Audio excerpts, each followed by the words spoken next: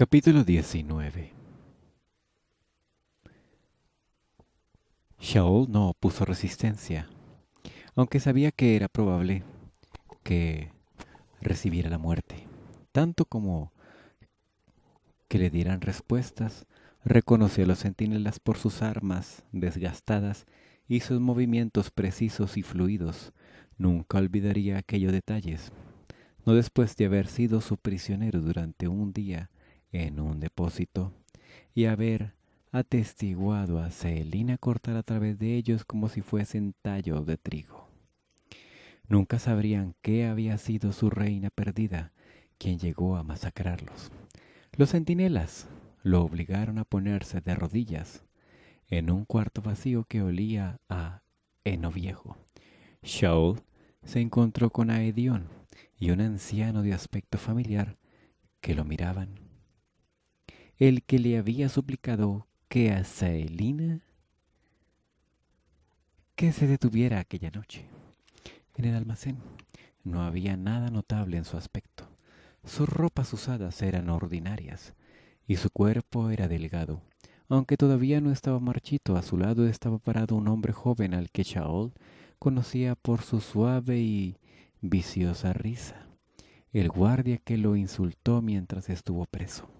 El cabello oscuro y largo, hasta los hombros, le caía suelto alrededor de un rostro que era más cruel que apuesto, sobre todo por la malvada cicatriz que recordaba a través de su ceja hasta su mejilla. Despidió a los centinelas con un gesto de su barbilla. Bueno, bueno, dijo a Edion, rodeando a Shaol. Su espada estaba desenvainada capitán de la guardia, heredero de Anili y espía? ¿O has estado recibiendo algunos trucos de su amante cerca del orificio? Cuando tú haces fiestas y convences a mis hombres para abandonar sus aposentos, cuando tú no estás en fiestas porque estás merodeando en las calles, es mi deber saber el porqué, Aedion. El hombre cicatrizado con las espadas gemelas se adelantó unos pasos, rodeándolo entonces con Aedion.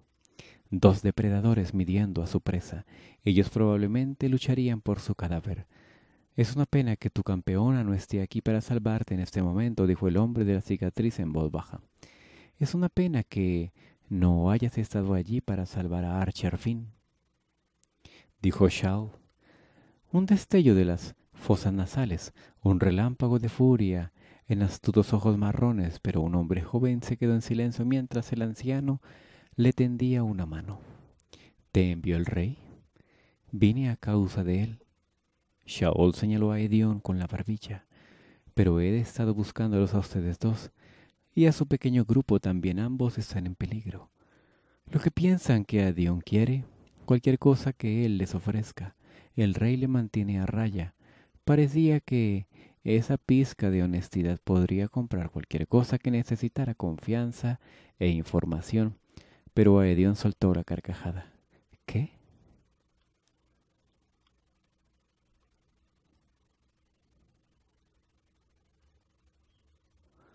Sus compañeros se volvieron a él, con las cejas levantadas.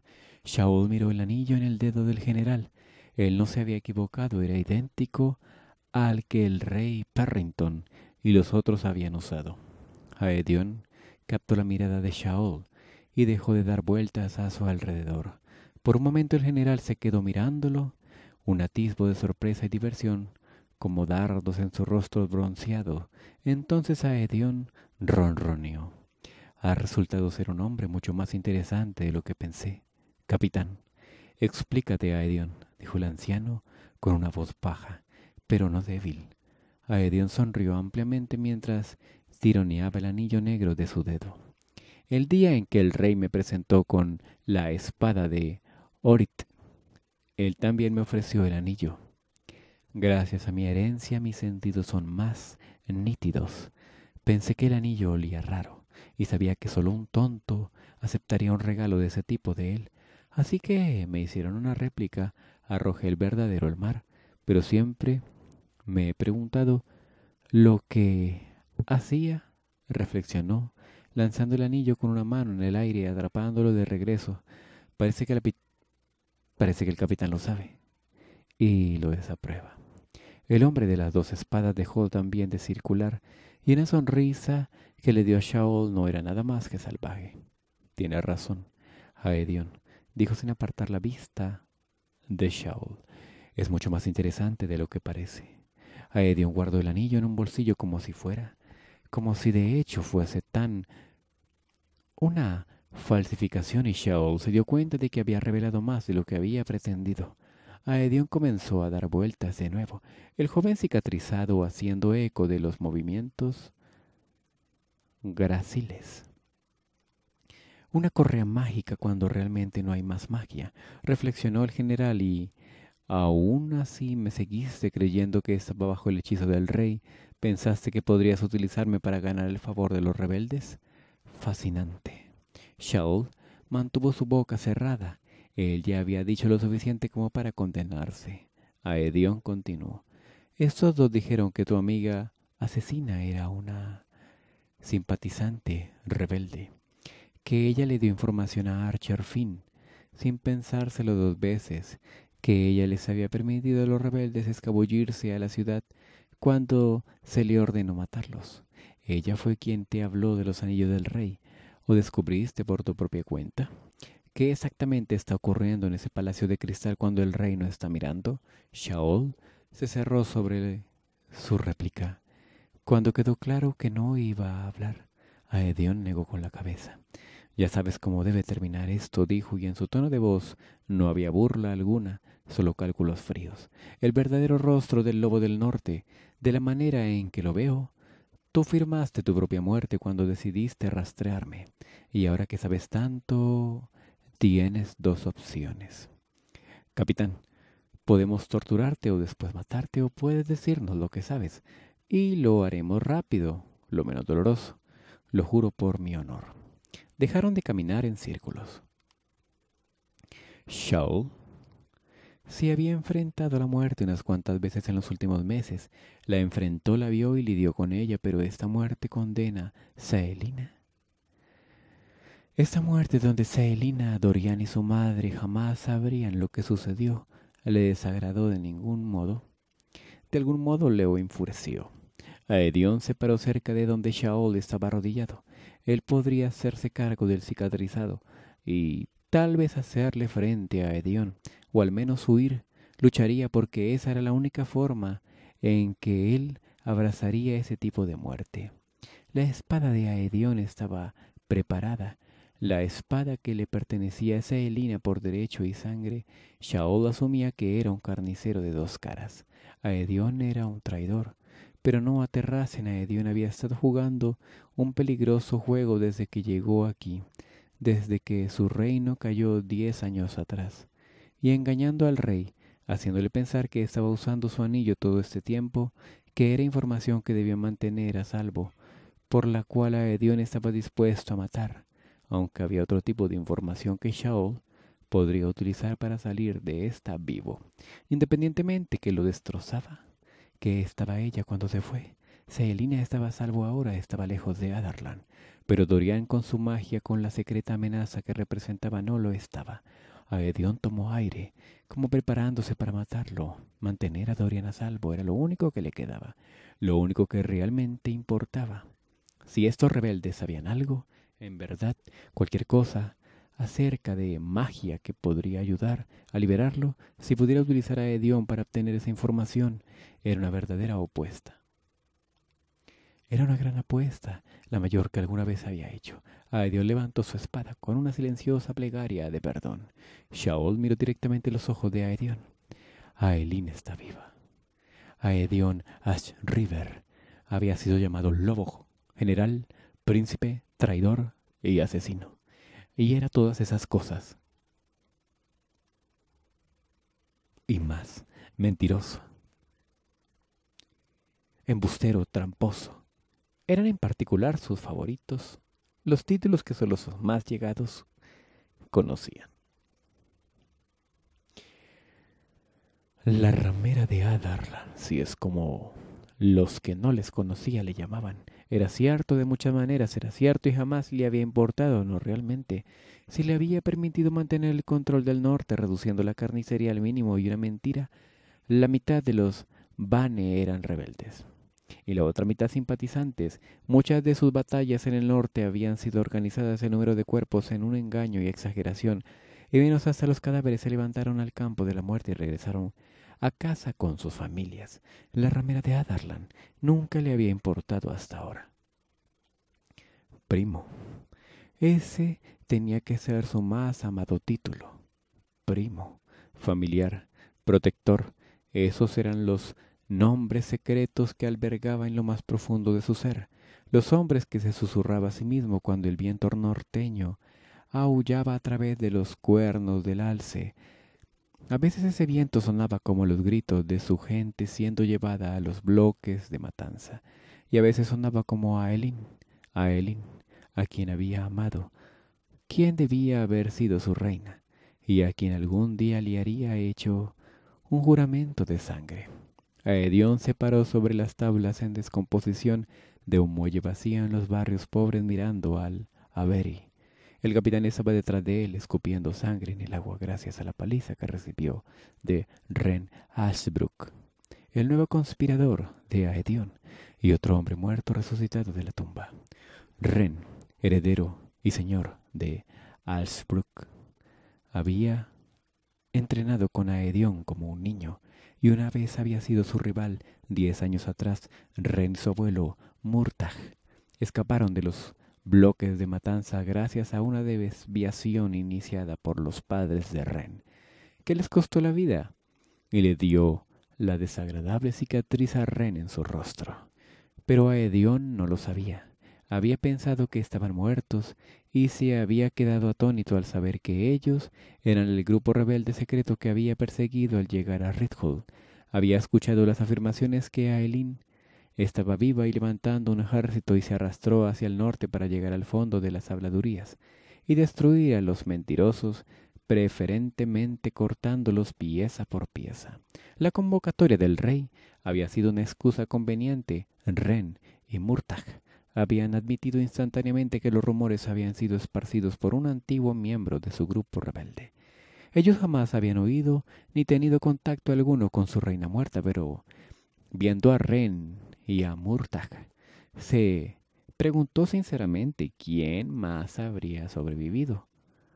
No se permitía esperar que Aelin. Aedion colocó su espada en la barbilla, en la barandilla de madera y pasó los dedos llenos de cicatrices por ella. Por los cortes y líneas cada marca una historia de legendarias batallas, luchadas, de grandes reyes muertos hace mucho tiempo.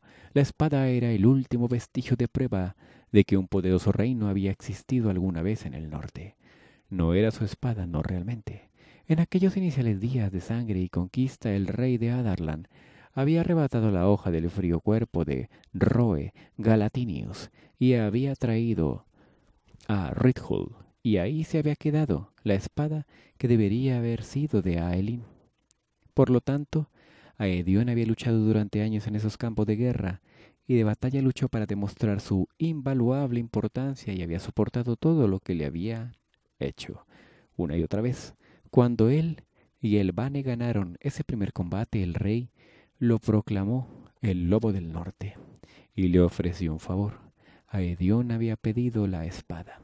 El rey atribuló el pedido a un romanticismo típico de un muchacho de dieciocho años y Aedión se pavoneó sobre su propia gloria hasta que todos creyeron que era un bastardo, carnicero traidor, un carnicero traidor que se burlaba de la espada con solo tocarla pero haber recuperado la espada no borró su fracaso.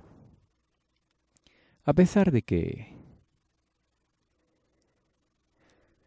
había tenido trece años y aunque estaba a sesenta y cinco kilómetros de Orit, cuando Aelin había sido asesinada en la finca rural, él debió haber evitado, había sido enviado a su tierra luego de la muerte de su madre, para convertirse en el escudo y espada de Aelin, para servir en la corte que se suponía ella debía gobernar.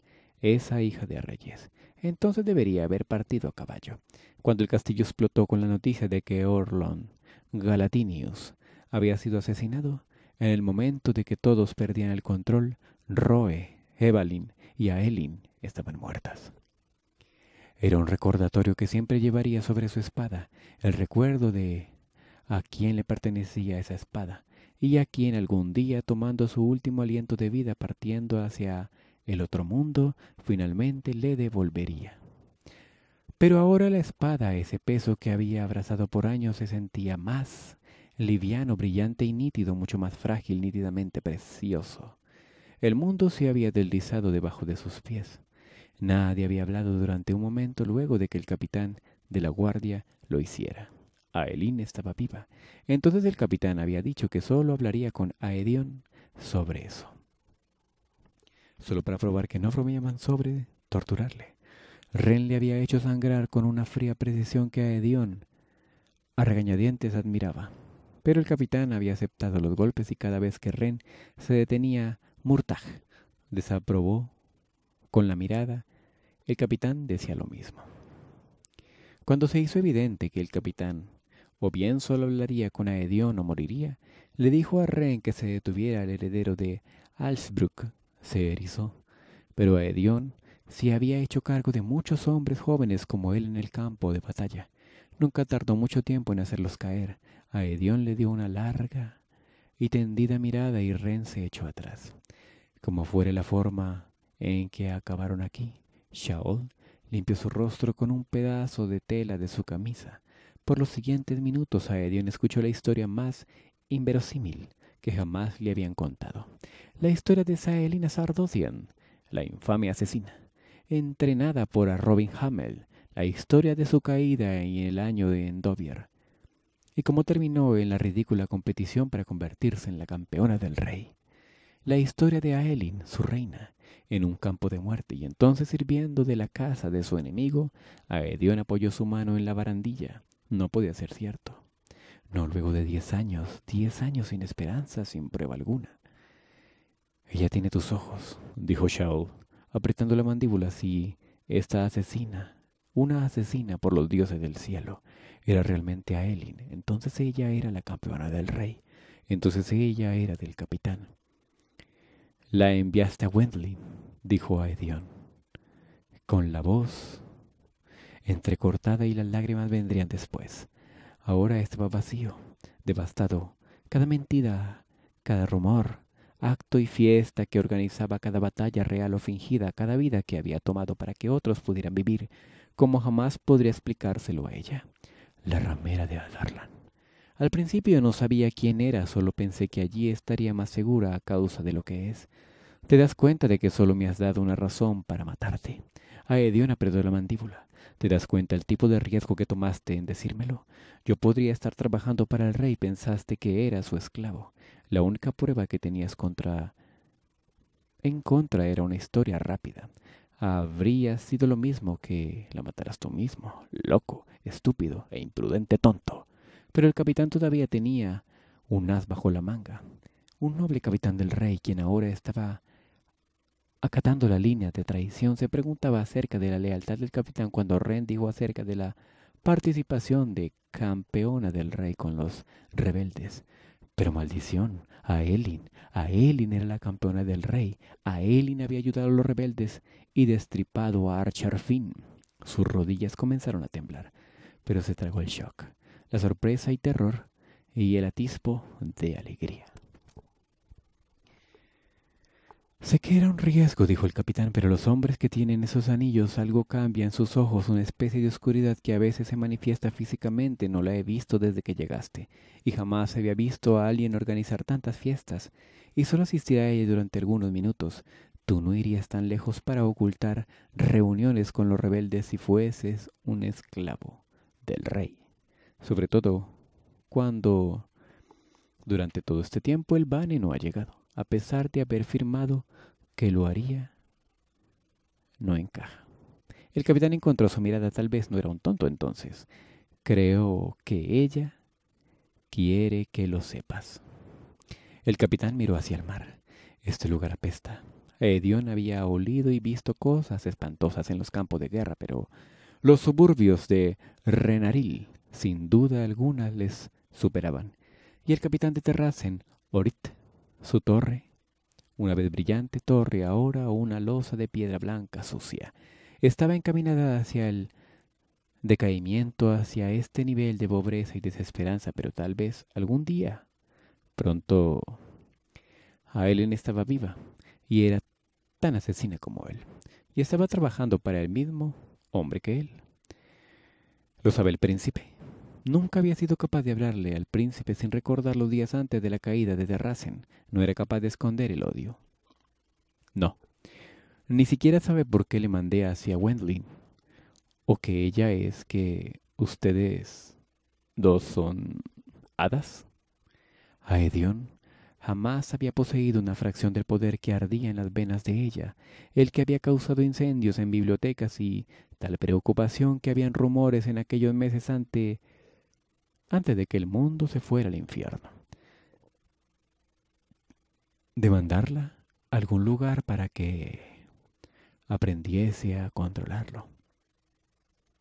Había escuchado debates de enviarla a varias academias o autores en tierras distantes, pero jamás a su tía Maeve, que esperaba como una araña en su red de seda para ver qué fue de su sobrina y aún así ella terminó en Wendling a las puertas de su tía. Maeve...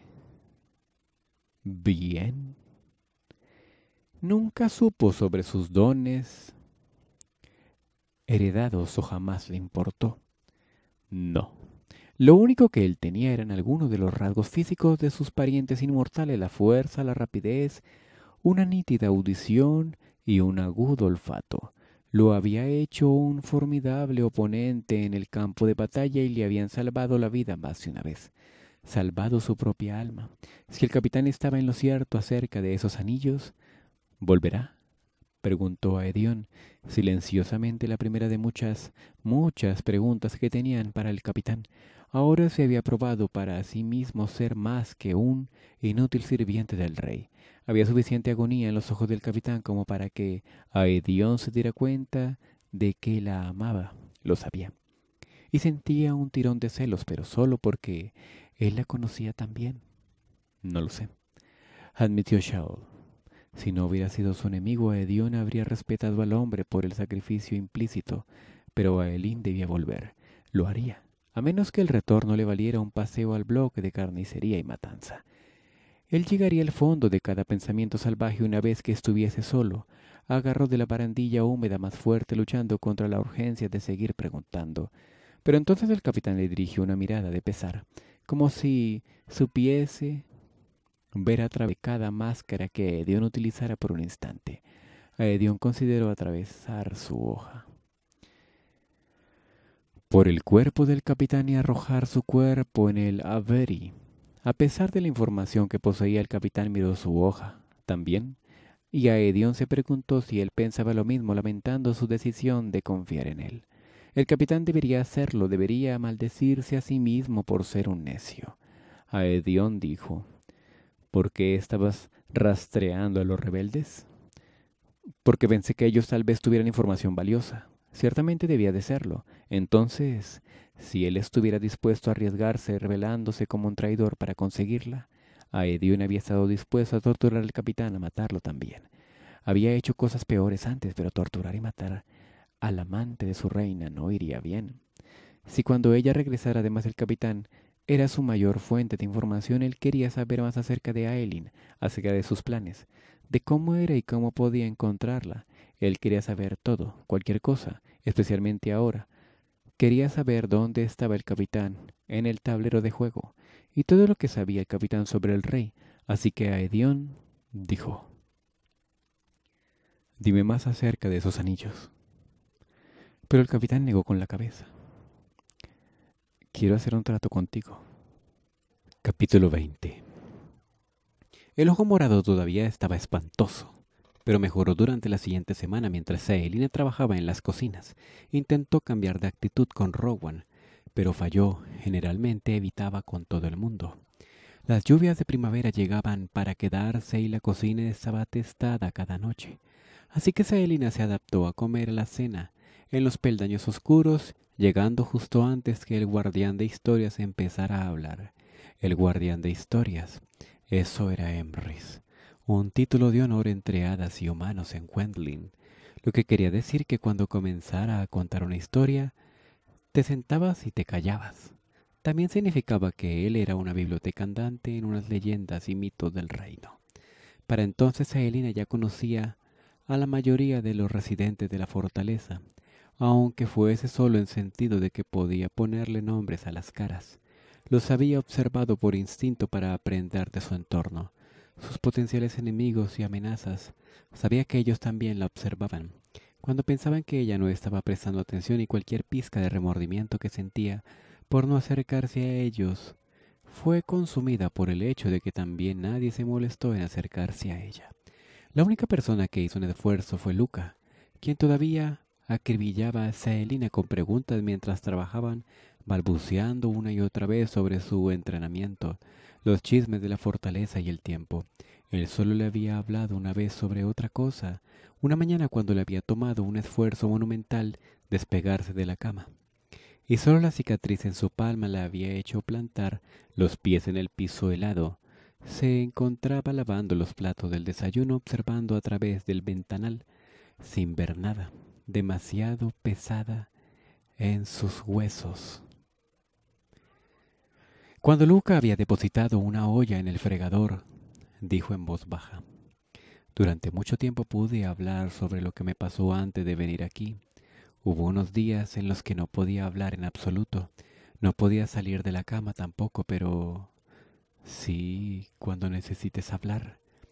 Ella lo había cortado con una larga mirada y él no había dicho nada parecido desde entonces. Afortunadamente le dio espacio, mucho espacio, especialmente cuando Malakai llegó durante el desayuno para asegurarse de que Saelina no había causado ningún problema. Usualmente evitaba mirar a las demás parejas de fortaleza, pero aquí, donde no podía marcharse, odiaba su cercanía. La forma en que los ojos de Malakai se iluminaban cada vez que él lo miraba, lo odiaba tanto que se atragantaba con ello. Nunca le había preguntado a Rowan por qué él también venía a escuchar las historias de Amris, aunque en lo que cada uno le concernía, el otro no existía fuera de los entrenamientos. El entrenamiento era una forma generosa de escribir lo que estaban haciendo el cual no había logrado nada. No cambió ni una vez. El gruño, él puso cara de desprecio. El gruñó, puso una cara de desprecio y silbó entre dientes. Pero ella no pudo hacerlo. Todos los días, siempre que Rowan desaparecía por unos momentos, lo intentaba, pero nada. Rowan amenazaba con arrastrarla de nuevo a las tumbas, ya que se parecía ser la única cosa que había provocado algún tipo de respuesta, pero para su sorpresa él había retrocedido cuando le dijo que se cortaría la garganta antes de entrar en ese lugar nuevamente. Así que se insultaban mutuamente, se sentaban en meditativo silencio en las ruinas del templo, y de vez en cuando tenían discusiones a gritos tácitos. Si ella estaba de un humor particularmente malo, él la hacía cortar leña tronco tras tronco hasta que apenas podía levantar el hacha, y sus manos estaban llenas de ampollas. Si iba a estar disgustada con todo el maldito mundo, como decía él, y si iba a despertar su desperdiciar su tiempo al no cambiar, entonces bien podría ser útil de alguna manera. Toda esta espera por ella, por el cambio, la hacía estremecerse al pensarlo. Fue al octavo día de su llegada después de frotar ollas y cazuelas hasta que su espalda vibró, que Saelina se detuvo a la mitad de su excursión, camino arriba de la hora familiar cresta. Tengo una petición. Ella nunca le hablaba a menos que fuera necesario, la mayor parte del tiempo para maldecirlo. Ahora dijo, quiero verte cambiar. Hubo un parpadeo de aquellos impasibles ojos verdes. No tienes el privilegio de dar órdenes. Enséñame cómo hacerlo. sus recuerdos de hada en Terracen eran nublados, como si alguien hubiese untado aceite sobre ellos. No podía recordar ver a alguno de ellos cambiar a dónde habían ido sus vestimentas, cuán rápido había sido. Rowan se le quedó mirando como si dijera solo esta vez. Y entonces un suave destello de luz, una onda de color, y un halcón estaba aleteando en el aire, batiendo en busca de la rama más cercana. Se posó en ella, chasqueando su pico. Había tomado apenas más que unos pocos segundos. Dio un grito de batalla y descendió, con sus garras rozándola en los ojos. Ella se abalanzó detrás del árbol, justo cuando hubo otro destello y onda de color. Entonces él estaba vestido, armado y gruñéndole en la cara. Tu turno. No le daría la satisfacción de verla temblar. Esto era increíble, increíble ver el cambio. ¿A dónde va tu ropa?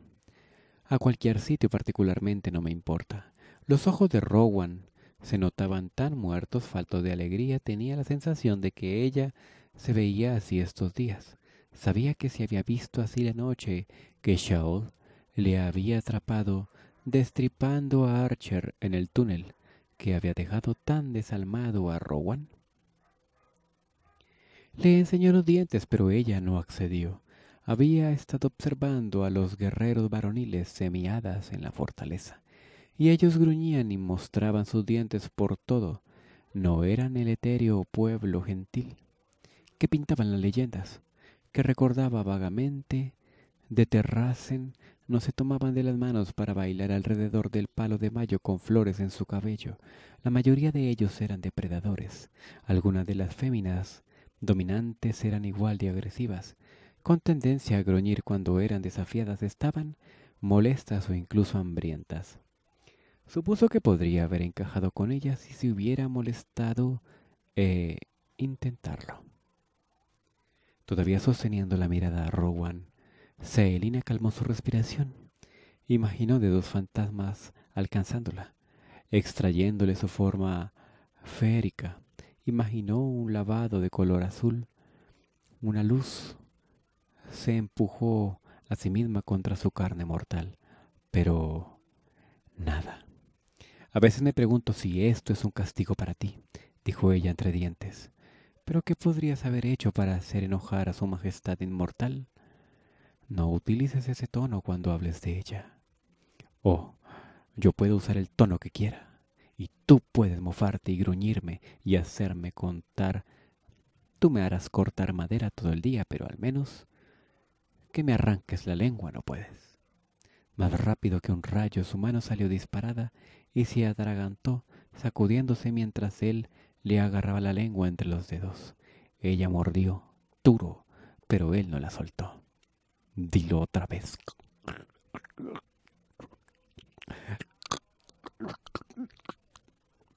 Ella se ahogó mientras él se mantenía pinchándole la lengua, y fue por sus dagas simultáneamente golpeándolo entre las piernas en su rodilla, pero él empujó su cuerpo contra el de ella, una pared de músculo duro y varios cientos de años de entrenamiento, letal, estampándola contra un árbol. Era una broma en comparación, una broma y su lengua. Por fin le liberó la lengua y Saelina respiró jadeando. Lo insultó con un sucio y nauseabundo nombre y escupió en los pies. Fue cuando él la mordió. Gritó. Cuando aquellos colmillos traspasaron el punto entre su cuello y el hombro. Un acto fundamental de agresión. La mordida era tan fuerte y demandante que estaba demasiado aturdida para moverse. Él la tenía inmóvil contra el árbol y la sujetó con fuerza. Él le hundió profundamente los colmillos y su sangre se derramó en su camisa, inmovilizada como una debilucha. Eso era lo que se había convertido. ¿No era así? Inútil, patética. Ella gruñó, más animal que ser sensible y empujó. Rowan Retrocedió un paso con sus dientes rasgándole la piel mientras ella le golpeaba el pecho. Ella no sentía el dolor, no se preocupaba por la sangre o el destello de luz.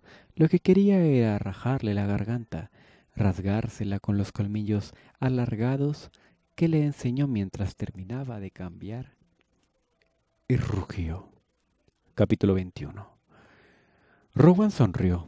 Eso es. Sangre. Su sangre. Estaban sus dientes en su boca y barbilla, y esos ojos muertos brillaban mientras escupía su sangre en la tierra. Probablemente sabía como una alcantarilla para él.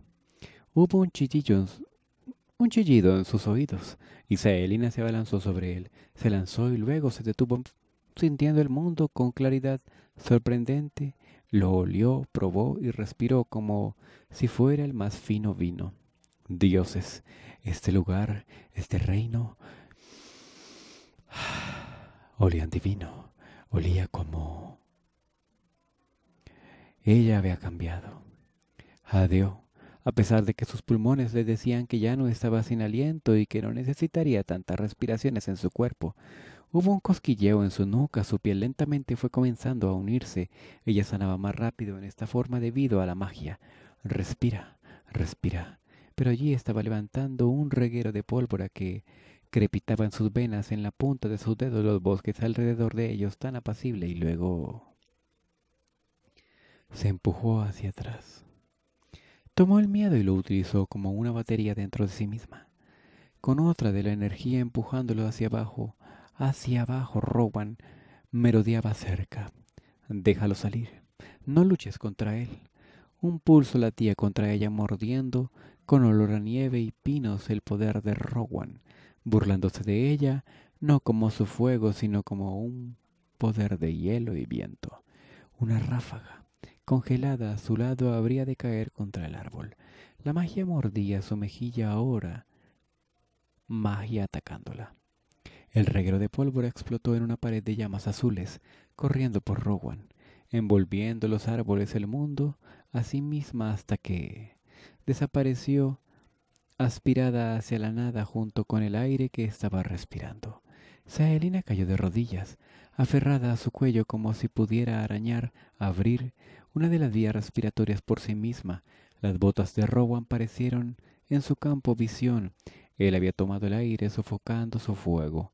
Tal poder, tal control, Maeve no le había dado instrucción con habilidades similares. En su lugar había enviado a alguien con poder capaz de asfixiar su fuego, a alguien que no le importaría hacerlo si ella se convirtiese en una amenaza. Aire corrió por su garganta en un silbido. Ella abrió la boca hacia abajo en tragos codiciosos, apenas registraba la agonía mientras cambiaba de nuevo en su forma mortal, viniendo al mundo quieta y aburrida otra vez. ¿Tu amante sabe que lo eres? Una fría pregunta. Ella levantó la cabeza, sin importarle cómo se había enterado. Él lo sabe todo. No del todo cierto. Sus ojos parpadearon. Con qué emoción ella no podía decirlo. No te morderé de nuevo, dijo, y ella se preguntó lo que había probado en su sangre. Ella gruñó, pero el sonido fue silenciado sin colmillos, incluso si es la única manera de conseguir cambiarme. El camino cuesta arriba a la cresta. No muerdes a las mujeres de otros hombres. Ella escuchó más que sentirlo, que algo murió en su voz cuando dijo, no estamos juntos, ya no. Lo dejé ir antes de venir aquí. Miró por encima del hombro. ¿Por qué? Plano, aburrido, pero aún así un poco curioso. ¿Qué importaba si él sabía? Había acurrucado su mano en puño en su regazo con los nudillos blancos. Miró el anillo, lo frotó, lo acogió reluciente, abriéndose un agujero a través de sí misma. Debería hacerse de esa maldita cosa, deshacerse, pero sabía que no lo haría, aunque solo fuera porque sentía que merecía esa agonía cercana constante, porque es más seguro si está tan rechazado por mí como lo eres tú.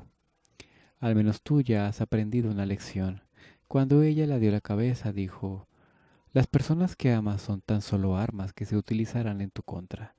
No quería recordar cómo Nehemí había utilizado, se había utilizado a sí misma en contra de ella, para obligarla a actuar. Quería fingir que no estaba empezando a olvidar lo que Nehemí había representado. Cambia de se quedó en silencio, silenciada por esa nada familiar. No dejes que la luz se apague. Pero Celina no sabía cómo detenerlo. La única persona a la que ella podía haberle dicho que podría haber entendido fue enterrada en una tumba sin adornos, tan lejos de la tierra calentada por el sol que ella había amado. Rowan la agarró por los hombros. ¿Me estás escuchando? Ella le dirigió una mirada aburrida, incluso mientras sus dedos se clavaron en su piel. ¿Por qué no simplemente me muerdes de nuevo?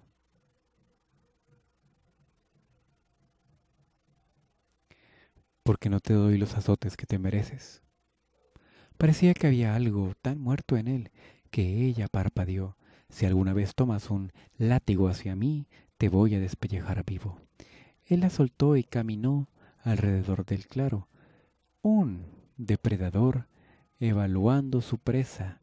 Si no cambias otra vez, estarás de doble servicio en las cocinas por la próxima semana.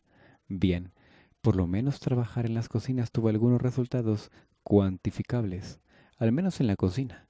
Ella podía contar de abajo arriba y sabía lo que estaba haciendo. Por eso estaba esa promesa que ella había hecho.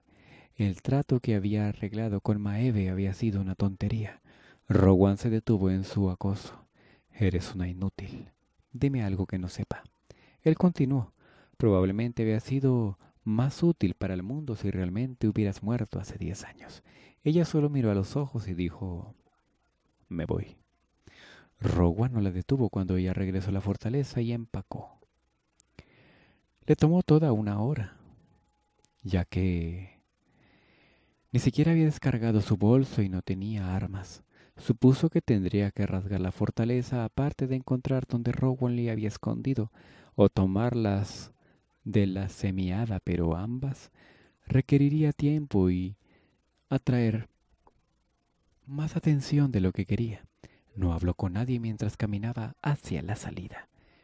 Ella iba a encontrar otra manera de aprender sobre las llaves del World y destruir al rey de Adarlan y liberar Elwi. Si ella continuaba con esto, no tendría nada dentro con que luchar. Había marcado las rutas que había tomado en el camino, pero cuando entró en la ladera de árboles cubierta, en su mayoría se basó en la posición de las nubes, velando al sol para navegar. Ella haría el viaje de vuelta, encontraría comida en el camino y averiguaría algo más. Esto no había sido una tontería desde el principio. Al menos no se había retrasado tanto, a pesar de que ahora tendría que ser más rápida de encontrar las respuestas que necesitaba y... ¿Es esto lo que haces? ¿Huir cuando las cosas se ponen difíciles? Rowan estaba de pie entre dos árboles directamente en su camino, después de haber volado sin duda aquí. Ella pasó junto a él, sus piernas ardiendo con el descenso a pie. Tú eres libre de tu obligación de entrenarme, así que no tengo nada más que decirte, y no tienes nada más que decirme, haznos un favor, y vete al infierno. Gruñó. ¿Alguna vez has tenido que luchar por algo en tu vida? Ella dejó escapar una baja risa amarga y caminó más rápido, virando hacia el oeste, no preocupándose por la dirección tanto como para alejarse de él. Prosiguió con facilidad sus largas piernas musculosas devorando la tierra cubierta de musgo. Me estás dando la razón con cada paso que das. No me importa. No sé lo que quieres de Maeve, qué respuesta estás buscando, pero Tú no sabes lo que quiero de ella. Fue más un grito que una pregunta. ¿Qué hay de salvar al mundo del rey de Adarlan? ¿Por qué molestarse? Tal vez un mundo. El mundo no es digno de ser salvado. Sabía que lo decía en serio. También esos ojos sin vida lo decían todo. Porque yo hice una promesa. Una promesa a una amiga que deseaba ver a su reino liberado. Ella empujó su mano llena de cicatrices por la cara. Hice una promesa irrompible, y tú y Maeve, todos tus malditos dioses bastardos están en el camino de eso. Se fue por la ladera de nuevo. Él siguió. ¿Y qué de tu propia gente? ¿Qué hay de tu propio reino? Ellos están mejor sin mí, como tú has dicho. Su tatuaje se arrugó cuando él gruñó. Sí que salvarías otra tierra, pero no la tuya. porque no puede tu amiga salvar su propio reino? Porque ella está muerta. Gritó la última palabra en voz tan alta que se quemó en su garganta. Porque ella está muerta. Y yo sigo aquí con mi insignificante vida. Él simplemente la miró con esa quietud animal. Cuando ella se fue, él no fue detrás de ella. Perdió la noción de lo lejos que caminaba y sí, y en qué dirección viajaba. No le importaba a ella, no había pronunciado las palabras, estaba muerta. Desde el día después en que Nehemí había sido arrebatada de ella, pero ella estaba muerta. Isaelina le echaba de menos. La noche barrió antes debido a la capa de nubes, la temperatura cayendo en picado cuando un trueno gruñó en la distancia. Ella hizo armas y continuó. Encontró una piedra afilada para cortar las ramas en lanzas rudimentarias, la más larga la usó como bastón, y aunque era un poco más que estacas, se dijo a sí misma que los dos cortos eran puñales, mejor que nada. Cada paso era más pesado que el anterior y tuvo suficiente sentido de autoconservación para, para empezar a buscar un lugar para pasar esa noche. Estaba oscureciendo cuando se encontró con algo decente una cueva poco profunda en el costado de una cornisa de granito. Rápidamente reunió suficiente madera para un fuego. La ironía de ello no sorprendió en ella. Si no tenía ningún control sobre su magia, arrancaría ese pensamiento antes de que termine. Ella no había hecho un fuego en años, por lo que no tomó un par de intentos, pero funcionó. Justo cuando un trueno rompió por encima de su pequeña cueva y los cielos se abrieron. Estaba hambrienta y por suerte encontró algunas manzanas en el fondo de su bolso, junto con el viejo pan de Varese, que todavía era comestible aunque difícil de masticar, después de que comió tanto que de él como podía estar de pie sacó su capa de alrededor de sí misma y la enclavó en el costado de la cueva. No dejó de notar los pequeños ojos brillantes que se reunieron mirando a través de las zarzas o sobre rocas o alrededor de los árboles. Ninguno de ellos le había molestado desde aquella primera noche. Y ellos no se acercaron. Sus instintos afectados como se habían sentido en esas últimas semanas no plantearon ninguna alarma, ni tampoco así que ella no les dijo que se fueran, y no le importaba en absoluto. Con el fuego y la lluvia golpeando era casi acogedor, no como su cámara de congelación, aunque estaba agotada se sintió un poco con la cabeza despejada, casi como ella misma de nuevo con sus armas improvisadas había hecho una elección inteligente para salir. Haz lo que tengas que hacer. Elena le había dicho, bueno, ella había necesitado salir antes que Rowan la destrozara en tantos pedazos que nunca volvería a tener una oportunidad de ponerse a sí misma de nuevo junta. Mañana empezará de nuevo. Mañana empezaría de nuevo.